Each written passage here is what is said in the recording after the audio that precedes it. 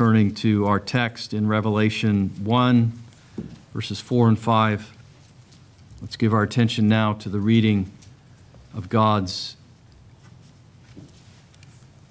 infallible and inerrant word. Exodus 3, beginning at verse 1. Now Moses was pasturing the flock of Jethro, his father in law, the priest of Midian, and he led the flock to the west side of the wilderness, and he came to Horeb, the mountain of God the angel of the Lord appeared to him in a blazing fire from the midst of a bush. And he looked, and behold, the bush was burning with fire, but yet the bush was not consumed. So Moses said, I must turn aside now and see this marvelous sight, why the bush is not burned up. When the Lord saw that he had turned aside to look, God called him from the midst of the bush and said, Moses, Moses. And he said, Here I am. He said, Do not come near here. Remove your sandals from your feet, for the place on which you are standing is holy ground. He said also, I am the God of your father, the God of Abraham, the God of Isaac, the God of Jacob. And Moses hid his face, for he was afraid to look at God. The Lord said, I have surely seen the affliction of my people who are in Egypt and have given heed to their cry because of their taskmasters, for I am aware of their sufferings. So I've come down to deliver them from the power of the Egyptians and bring them up from that land to a good and spacious land, to a land flowing with milk and honey, to the place of the Canaanite and the Hittite and the Amorite and the Perizzite and the Hivite and the Jebusite. Now behold, the cry of the sons of Israel has come to me. Furthermore, I've seen the oppression with, with, with which the Egyptians are oppressing them. Therefore, come now. I will send to you I, I will send you to Pharaoh so that you may bring my people, the sons of Israel, out of Egypt. But Moses said to God, Who am I? That I should Go to Pharaoh, and that I should bring up the sons of Israel out of Egypt. And he said, Certainly I will be with you, and this shall be a sign to you that it is I who have sent you. When you brought up the people out of Egypt, you shall worship God at this mountain. And Moses said to God, Behold, I am going to the sons of Israel, and I will say to them, The God of your fathers has sent me to you. Now they will say to me, What is his name? What shall I say to them? God said to Moses, I am who I am. And he said, Thus you shall say to the sons of Israel, I am has sent me to you. Revelation 1, and the first part of verse 5 is our text. We'll read verses 1 through 5, or through the first part of verse 5, rather. Revelation 1, beginning at verse 1, the revelation of Jesus Christ, which God gave him to show to his bondservants the things which must soon take place. And he sent and communicated it by his angel to his bondservant John, who testified to the word of God and to the testimony of Jesus Christ, even to all that he saw. Blessed is he who reads and those who hear the words of the prophecy and heed the things which are written in it, for the time is near. John, to the seven churches that are in Asia, grace to you and peace from him who is, and who was, and who is to come, and from the seven spirits who are before his throne, and from Jesus Christ, the faithful witness, the firstborn of the dead, and the ruler of the kings of the earth. The grass withers, the flower fades, but the word of our God stands forever. Amen. Amen. Be seated as we turn to our psalm of preparation 25a in the book of Psalms for singing.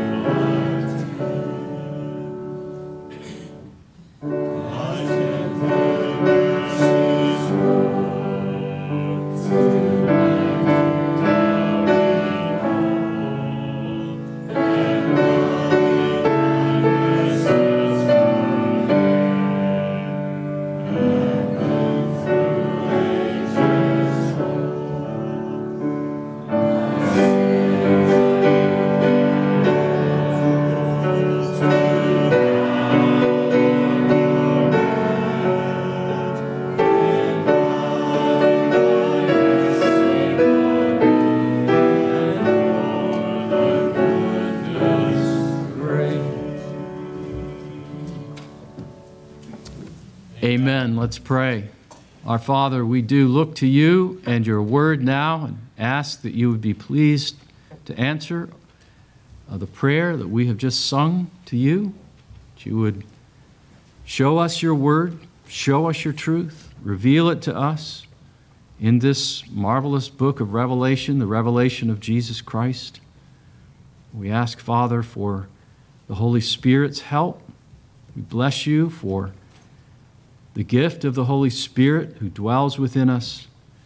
And we pray now that the power of the Holy Spirit would be made known in the congregation, both in preaching and in hearing. We ask in Jesus' name. Amen. Amen.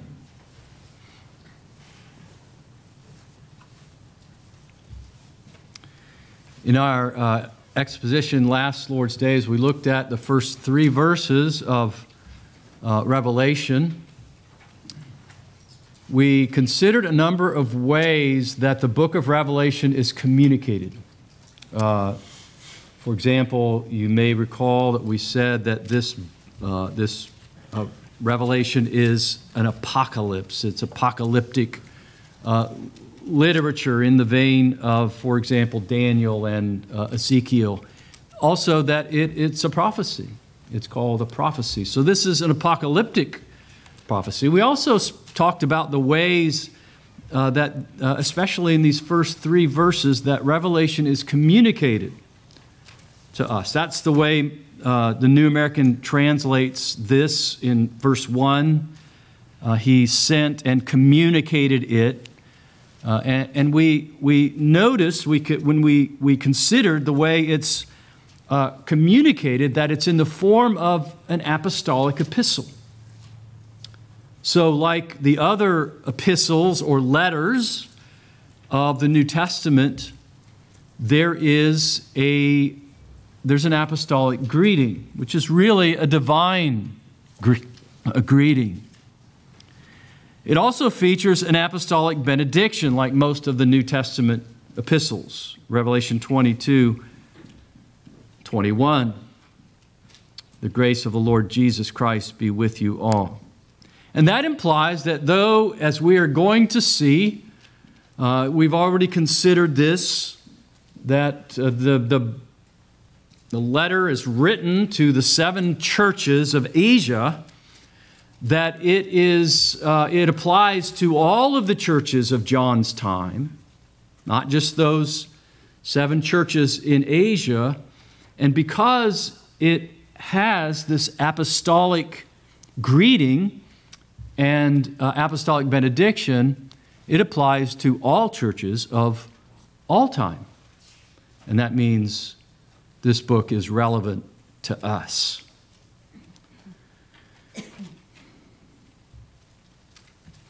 It has profound uh, implication not just for these seven churches in Western Asia Minor. Uh, someone pointed out to me uh, after the sermon last Lord's Day that I said Eastern. It's not. Asia Minor is the whole of modern day Turkey, uh, essentially. And these seven churches were in a semicircle, arranged in a semicircle in uh, Western. I have directional dyslexia, and I'm, I'm, I'm not really even kidding about that. I have, I, I have to think sometimes is that East or is that West? Or, but nevertheless, um, uh, if you look at the map of modern day Turkey, this was Asia Minor, and uh, that's the, uh, the region. And Asia is a Roman province in that Roman region of, um, of modern day uh, Turkey. Another significant characteristic of Revelation is its heavenliness, its heavenly character. Revelation takes us up to heaven. As we, as we look at some of the visions in this book, we are going to get a window uh, into heaven. And it's a wonderful thing because we don't think about heaven enough. And we need to think about heaven uh, because it's one of the things that uh, our, our, heavenly home, our uh, heavenly uh, destination uh, is, is that, that's where we're headed. That's, our, that's, that's what our pilgrimage, our, our sojourn in this world is all about. And in the text today, we are considering a divine greeting from heaven's throne. It's the Lord's greeting. When someone greets you warmly, uh, whether it's a family member, a church member, a friend, it can have a profound impact on you. Everybody wants to be greeted warmly. They want people uh, to, to look them in the eye and, and, uh, and to speak to them and to be uh, warm toward them, to be attentive. Uh, but there's no greeting like a heavenly greeting. Nothing in this world can compare to the heavenly greeting that we received from the Lord. And in our text, we are greeted by, uh, distinctly by each person of the Holy Trinity Father, Son, and Holy Spirit. And that's a foretaste of heaven on earth. Do you know this God? That's one of the things you ought to be asking yourself. Do you know Him? Do you know something? Not just uh, a, a, an intellectual knowledge, but an experiential knowledge of the triune God, Father, Son, and Holy Spirit. How do we know Him? Well, we've already mentioned it today, and we've prayed it today. At least I have, and so you have too, because you prayed with me that God would be pleased to reveal Himself in His Word. That's how we come to know uh, the triune God.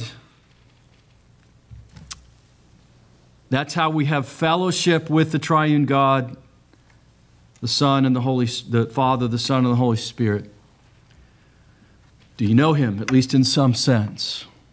Have you come to know him? And do you treasure these greetings that he extends to us? It's a, it's a divine hand extending out of heaven itself, speaking to us greeting us warmly, and it's a wondrous thing. In verses 4 and 5, we have, in the first place, a greeting through apostolic agency. Secondly, a greeting to the seven churches. And thirdly, uh, a greeting from the triune God, a greeting through apostolic agency, a greeting to the seven churches of Asia, a greeting from the triune God.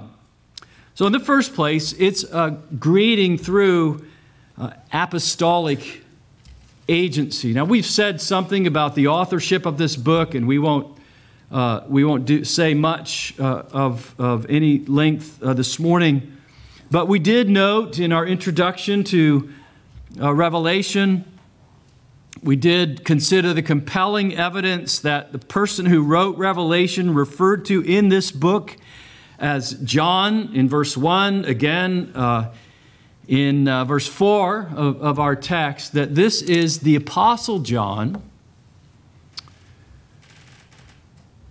one of the three apostles who were in the inner circle of the Lord Jesus Christ, along with Peter and James, perhaps the closest to the Lord Jesus Christ because he calls himself the one whom Jesus loved in, his, in the gospel that he authored.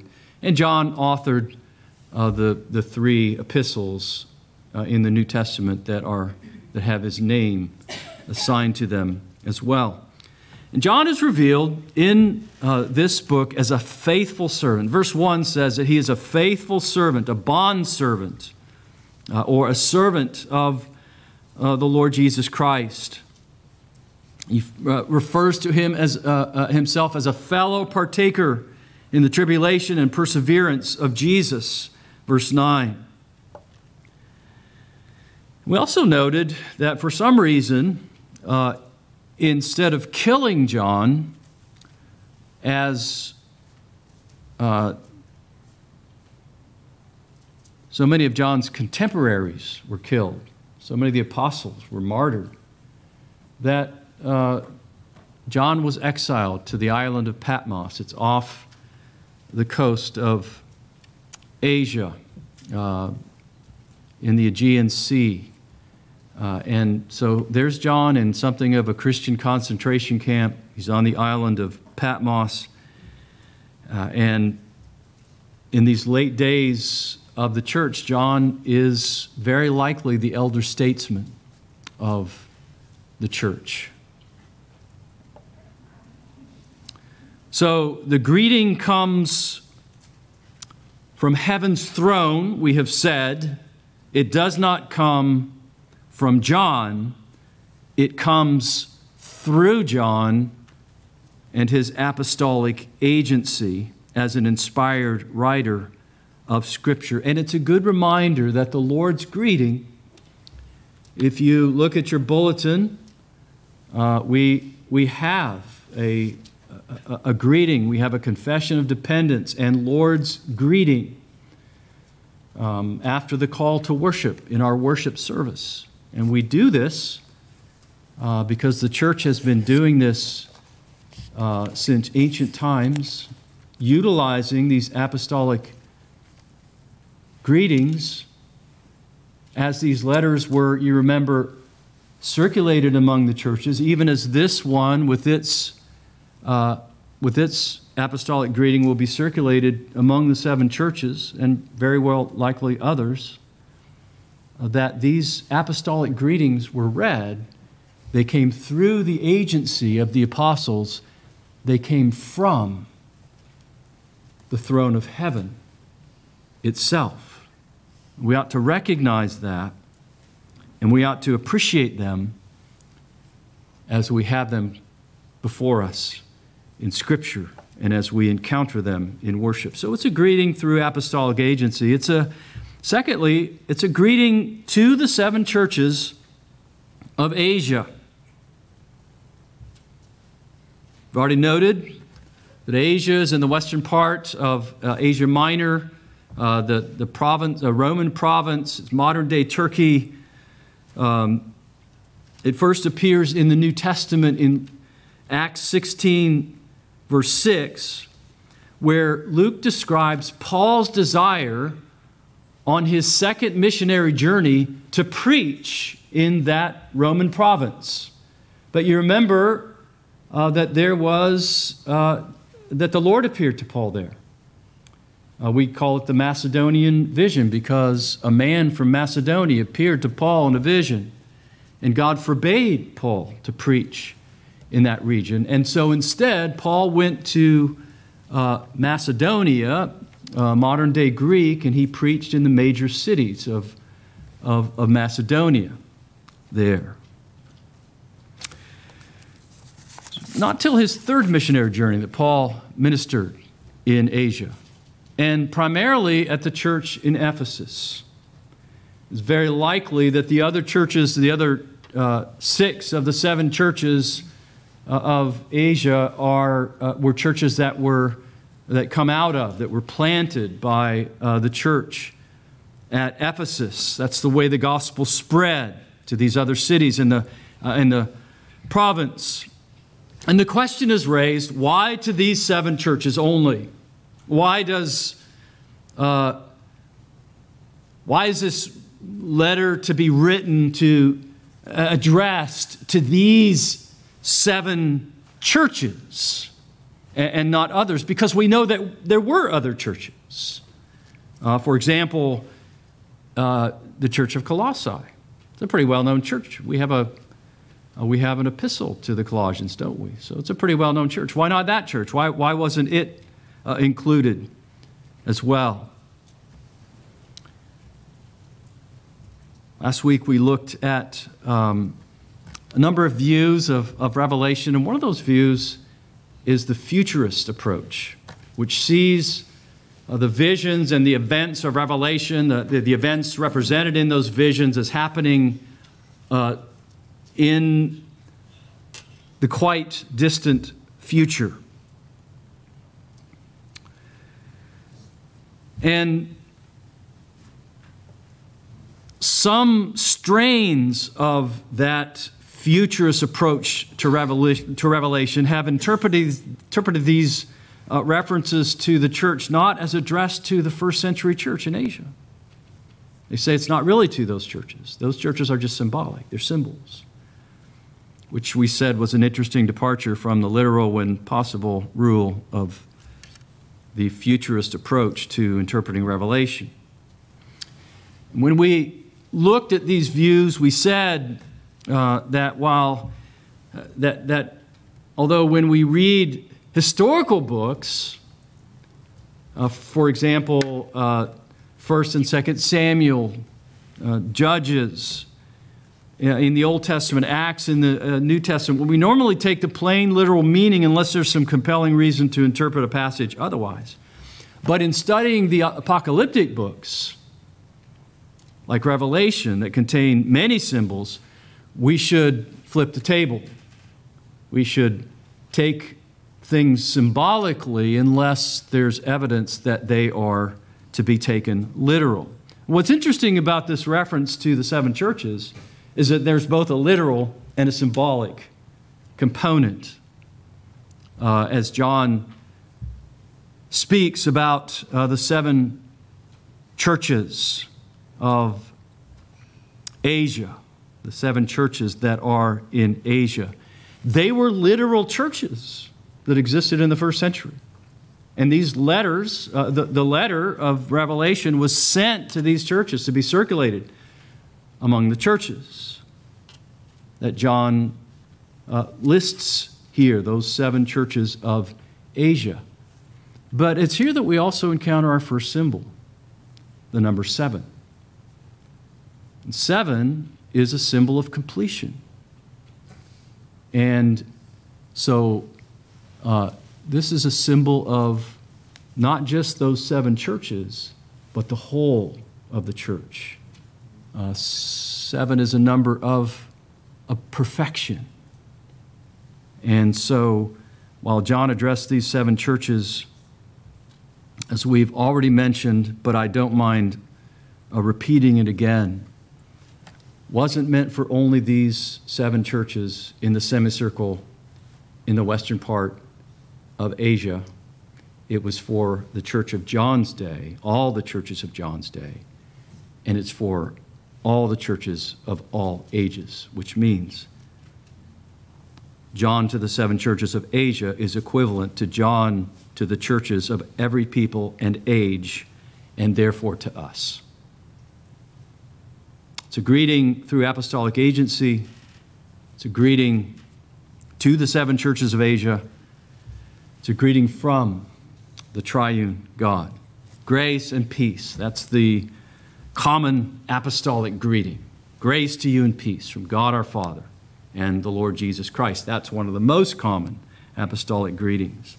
And the words grace and peace in that order summarizes the means and the end of God's saving work. Grace, as you I'm sure have heard many times, is God's undeserved love or favor, or putting it even more strongly, it's undeserved favor despite demerit. Peace flows out of grace. Peace is uh, the reflection of, of God's smiling countenance upon his beloved children. God doesn't smile on us in our natural condition. That is the way we were born in our sinful nature. Rather, he must frown upon us because our natural condition by birth uh, is, uh, is a condition of condemnation and and subject to God's wrath. We were sons of disobedience, And our father was the devil in our natural condition of sin. But through the blood of Jesus Christ, by God's grace, through faith, all of that changes. God now deals uh, with us not as we deserve, but according to the merit of His Son, Jesus Christ. Not according to our merit, but according to the merit of the Lord Jesus Christ. And He extends His grace to us as hell deserving sinful people. When God smiles upon us, we have peace with God through our Lord Jesus Christ. This greeting is brought from each person of the Holy Trinity. We read first the greeting of the Eternal Father in verse 4 Grace and peace to you from him who is, and who was, and who is to come.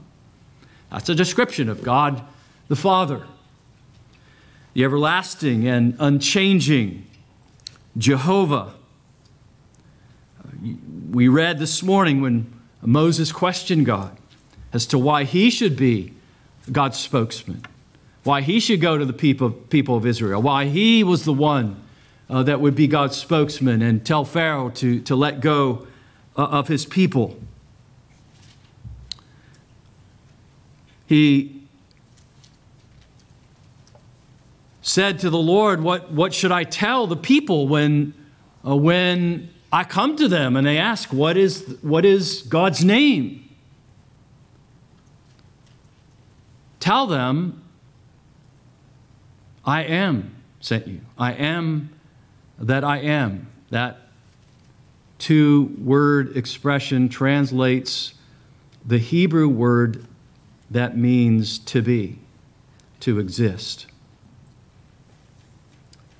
And so here, out of this, out of the, the burning bush, which is a symbol of God's eternal and unchanging name, uh, nature, God says, My name means uh, eternal, it means uh, everlasting. I'm the one who does not change. Therefore, uh, you sons of Jacob, you are not consumed.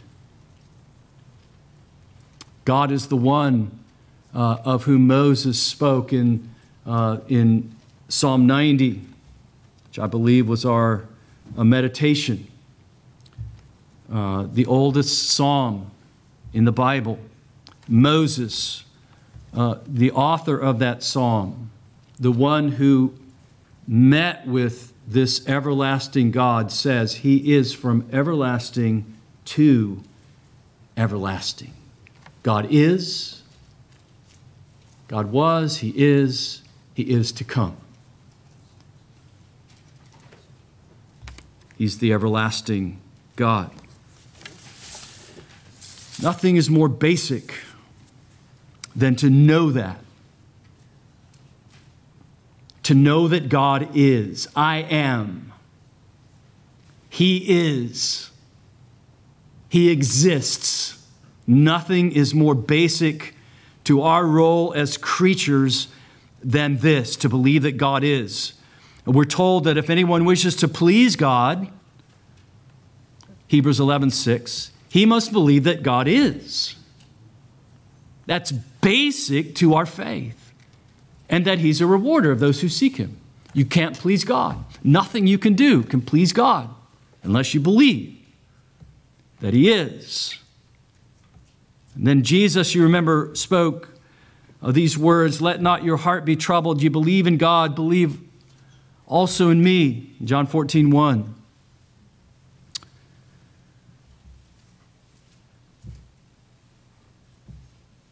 Dear Christians, since God is, since God was, and since God is to come, there can be no greater grace, no more lasting peace than that which comes from the eternal Father. Second, we read in our text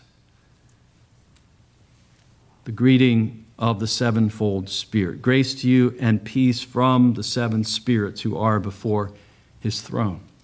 Now, this, uh, I remember uh, a member of the church not long ago. Her husband was a Marine and he was deployed at the time, and when she, I began uh, very early in my ministry using this uh, apostolic greeting uh, in the Lord's greeting, and uh, so she heard those words, the seven spirits who are before his throne, and she said, Why do you say that? Why, why, why do you talk about the seven spirits who, who are uh, before his throne? And so I explained it to her in the way, uh, much in the way that I'm going to explain it to you. Now, some question whether uh, this really is a reference to the Holy Spirit, by the way. Some interpreters do a question since uh, there are seven spirits before the throne and not one. But they must refer to the Spirit because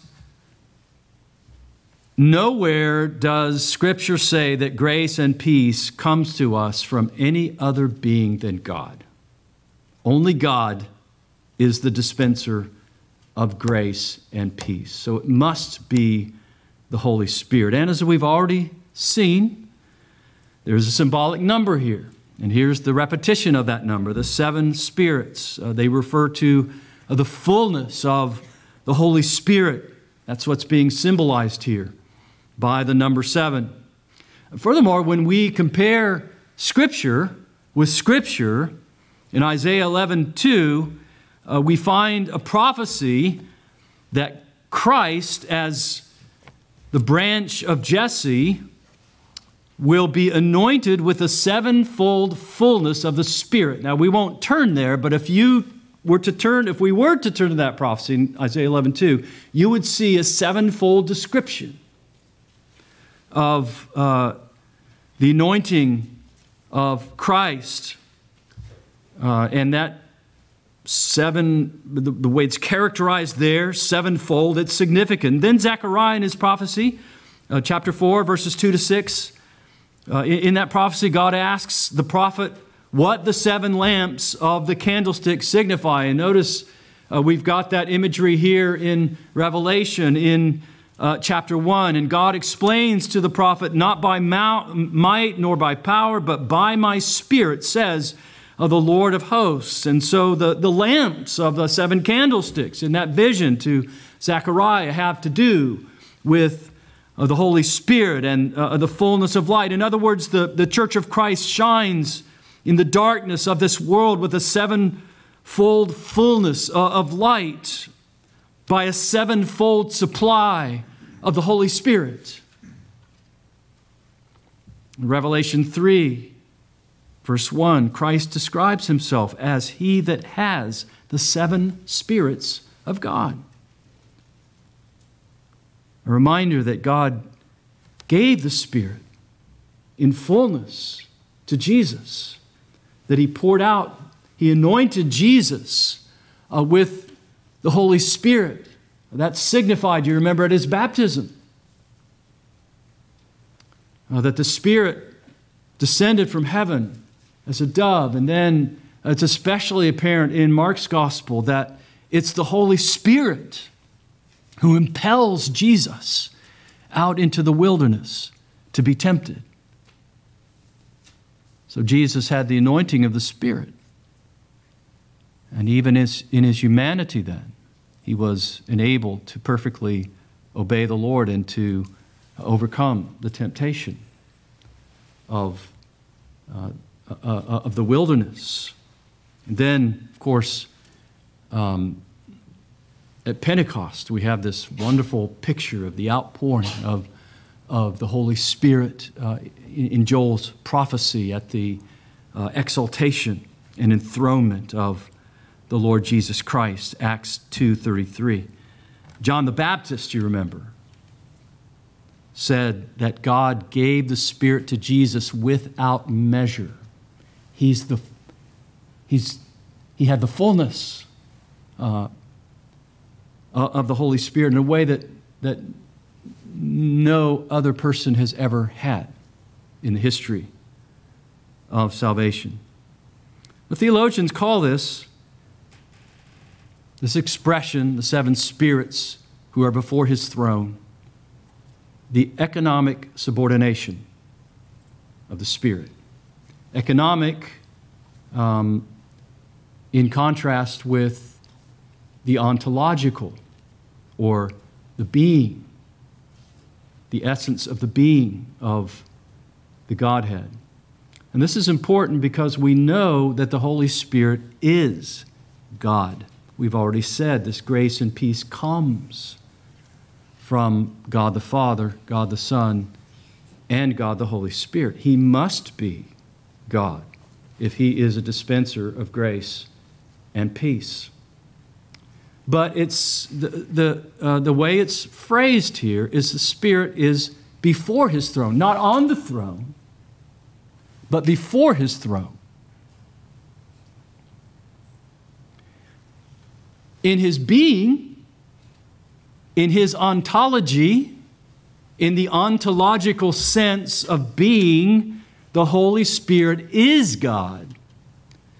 But in the economic outworking of the Trinity, in the economy of the Trinity, He's before the throne. He's going out from that throne. And what does He do? The Holy Spirit has a brilliant spotlight. And he shines that spotlight on the person and work of Jesus Christ. The seven spirits, the fullness of the Holy Spirit that goes out from the throne of God, takes the things of Christ and he reveals them to us. And if you belong to Jesus, then you have had that spotlight shone upon you. He's taken the things of Christ, He's applied them to you. He's worked, uh, He's given you a new heart, apart from which you can't. You can't believe. You can't repent of sin. It's impossible because your heart is stone, the Bible teaches in your natural state.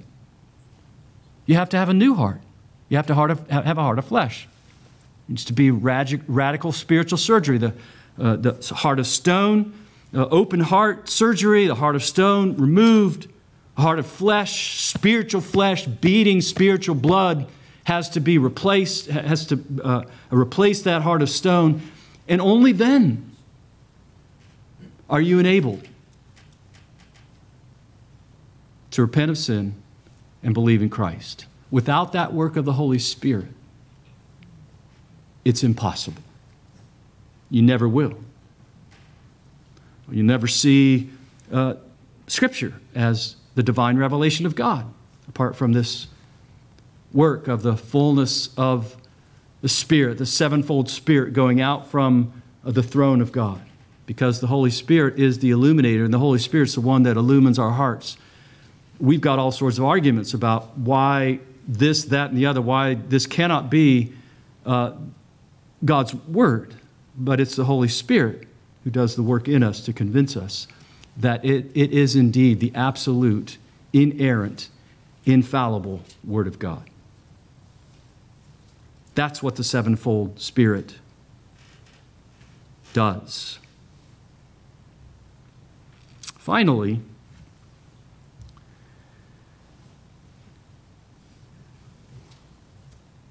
we have a greeting from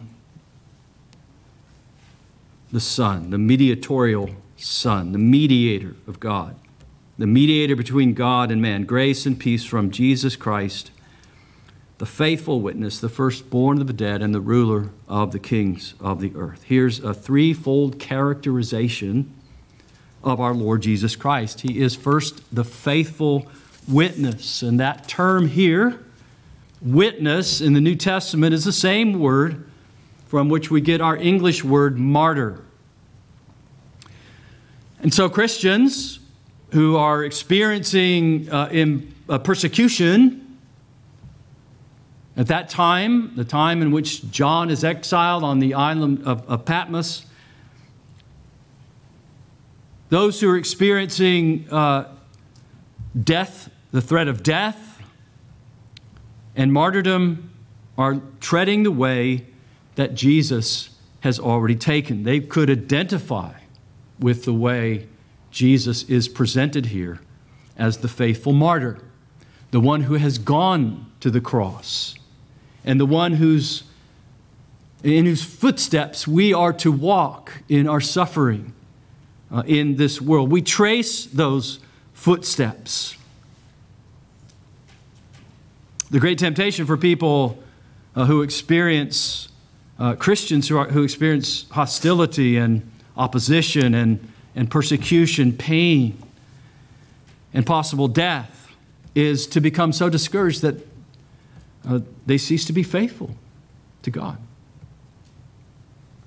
And history tells us that this was precisely what happened in John's day. That they stopped following Christ faithfully.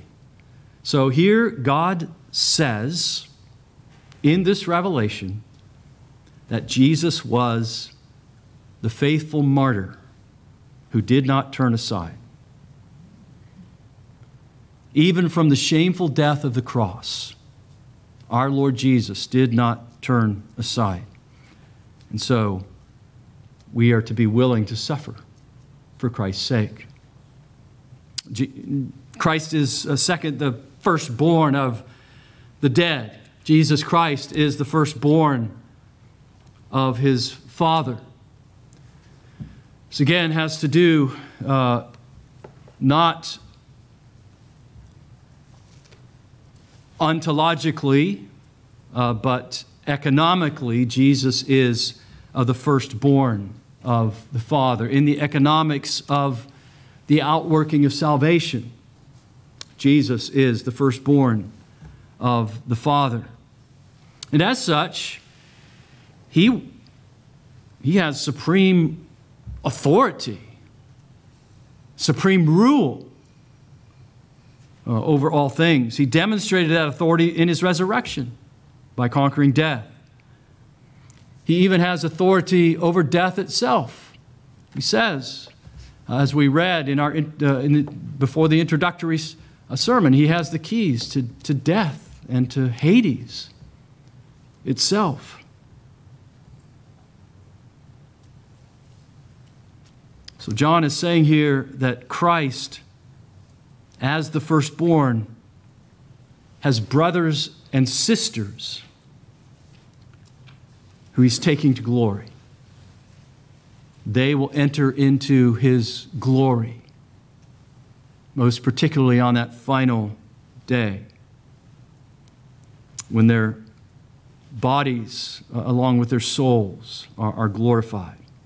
And so they too then it's a tremendous message, isn't it, to a, a, church that is under persecution, being threatened with violence and death, that they too will experience victory with Jesus over death and all other enemies because Christ is the firstborn of the dead. Christ is alive. He's he overcame death uh, in his uh, resurrection. But then, third, we read that he's the ruler of the kings of the earth, which means that no matter what dictator struts around uh, the world today on the stage of human history, imagining himself to be all powerful and using that power to exhibit his cruelty, as we are seeing uh, today, the Apostle John says that Jesus Christ is sovereign over all. Every king, every governor, every president or dictator who's, who bears authority is subject to Jesus Christ. Whether that person recognizes it or not. John therefore issues a warning to such individuals. Let all tyrants tremble because Jesus is king. He's the ruler of the kings of the earth. And they will answer to the Lord Jesus Christ, the great judge, whether now or whether at the final judgment. They will answer ultimately to the ruler of the kings of the earth. This is a, a great comfort. It's a great comfort for John, who's on the island of Patmos because of cruel dictatorship. He's, it's, a, it's a great encouragement to these seven churches who are undergoing persecution. It's quite evident from what we read about those churches, the, the address to those churches that we'll come to later here in the book of Revelation. It's a, it's a great comfort to churches everywhere in all time that Jesus is the ruler of the kings of the earth. The triune God puts his blessing upon and sends his greeting to each and all of us, every believer in the Lord Jesus Christ, in every church, each person of the Holy Trinity, puts his blessing upon and sends their greeting upon every member of, the Lord Jesus Christ. And each member of the Trinity labors for the salvation of each true believer in the Lord Jesus Christ.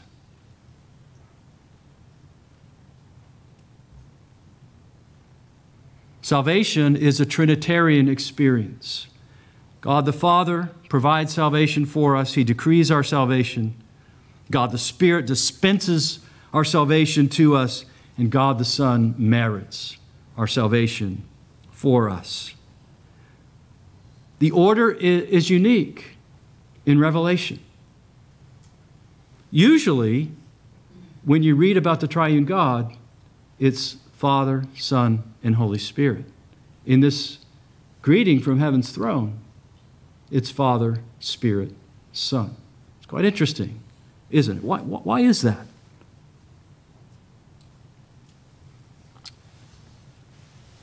The reason is the imagery of Revelation, which includes uh, candlesticks and bowls and altars and incense and fire.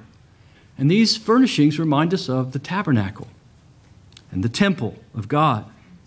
Revelation not only presents God in the essence of his being, but also as the one who dwells in his heavenly tabernacle. You remember how the book of Hebrews tells us uh, that the tabernacle and the temple here on earth were just uh, patterns of the true tabernacle in, in heaven.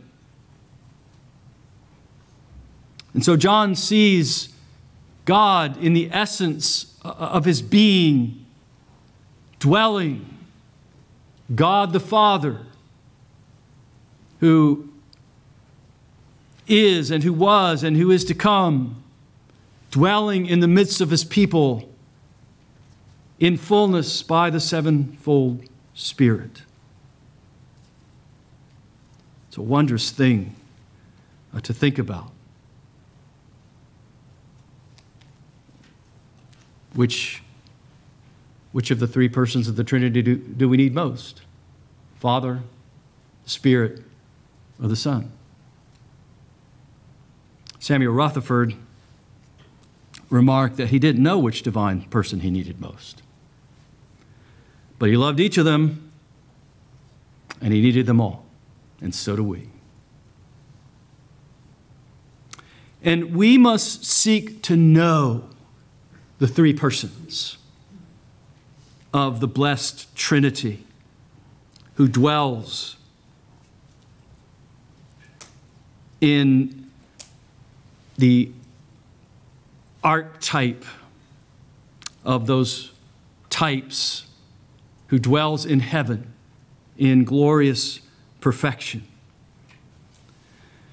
Throughout his greeting, John is saying, There's no trial in your life that God isn't fully equipped to deal with. Nothing you face